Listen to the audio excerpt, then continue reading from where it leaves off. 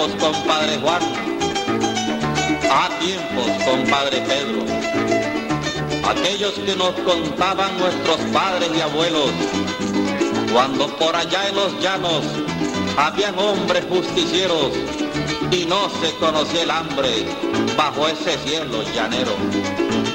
Cuando en los ríos y en los caños habían hombres caimaneros, zambos buenos y apretados que no conocían el miedo desafiaban los peligros en un caballo cerrero y a un toro de 30 robas le salían con el sombrero. Esos tiempos, mi compadre, palabras que ya se fueron. ¿Te acuerdas que en la sabana no habían cercas ni tranqueros y eran tan autoritarios los dueños de sus terrenos? No se sacaba permiso para uno ser chigüirero, ni para ser pescador uno iba a los ministerios.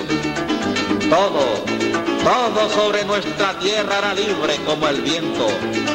Pero desde que llegaron esos museos extranjeros, han convertido a Millano en alambres y linderos. Y cuentan con el apoyo de los que entran al gobierno, con esos cargos de jueces, de alcaldes y de prefectos. Llegan a senadores y diputados al Congreso y al que se les pare adelante paisano, amarrados lo llevan preso. Otra cosa, mi compadre, que yo he pensado en silencio, es que de 5 a 5 años vienen al campo a ofrecernos y el comisario nos manda como un atajo para el pueblo a escuchar unos gran cipotes que nosotros ni entendemos.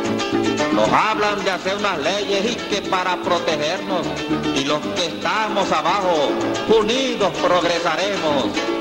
Que doña Reforma Agraria va a repartir sus terrenos y el señor Don Banco Agrícola nos va a prestar un dinero para convertirnos entonces en señores parceleros.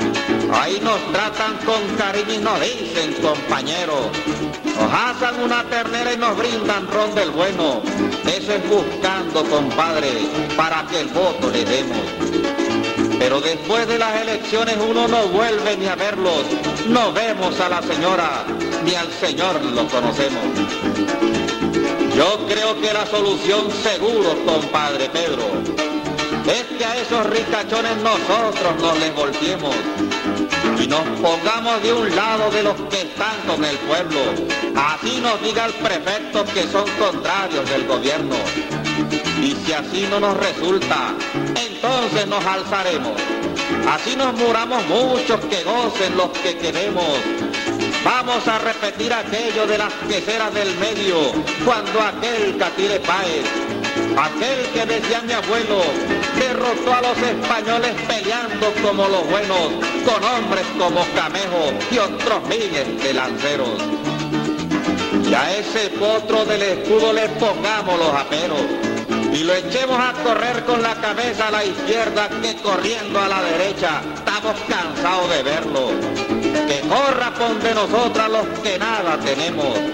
Que nuestras leyes y reformas nosotros mismos las vemos. Y así, y así yo creo, mi compadre, que de situación cambiemos y de esta Venezuela seamos absolutos dueños. Y así no tendremos cuentas porque a nadie le debemos.